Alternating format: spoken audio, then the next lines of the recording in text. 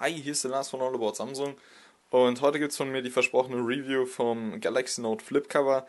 Ist zwar inzwischen ein bisschen witzlos, weil die Dinger inzwischen äh, gratis verschickt wurden. Ich wollte die Review schon ziemlich lange machen, nur ich habe es äh, regulär bestellt und noch da ist es nicht früher gekommen.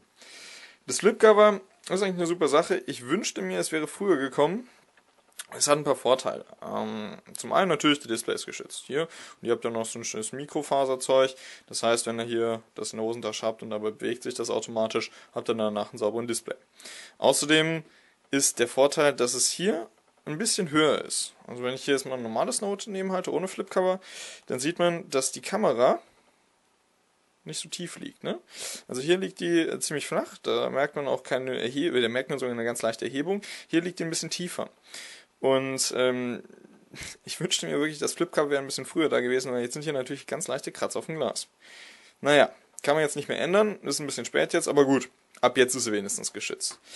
Ansonsten, was ändert sich durch das Flipcover? Hm, das Galaxy Note wird auf jeden Fall insgesamt, wenn man sich das so anguckt, ein bisschen dicker.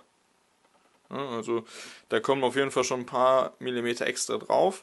Ähm, außerdem, wenn man sich das ganz genau anguckt, wie das Flipcover letztendlich funktioniert. Hier vorne geht dieses Leder oder was auch immer das ist rein.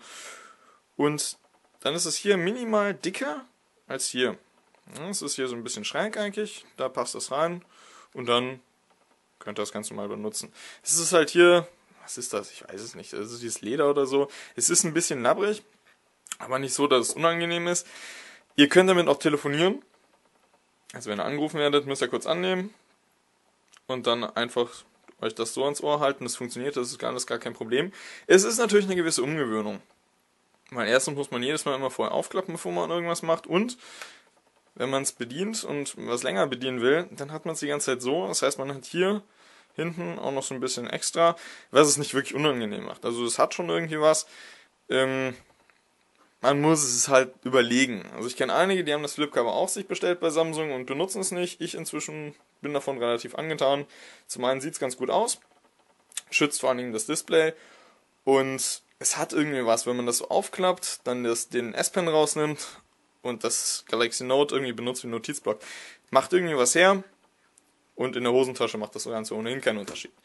Ich bin der Lars von Onobot Samsung und wir lesen uns wieder im Blog. Ciao!